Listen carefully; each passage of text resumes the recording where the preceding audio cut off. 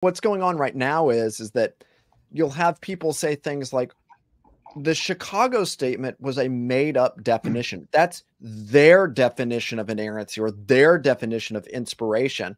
And they're going to say, I'm not denying the inerrancy of the Bible. I'm just denying your definition of the inerrancy of the Bible.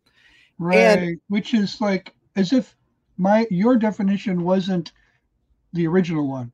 Exactly. And what's funny about the doctrine of inerrancy is, is that the Chicago statement and the ICBI spent a decade showing this is the view taught in the Bible. This is the view held by people down throughout church history. This was the view encodified in various confessions of faith and so on and so forth.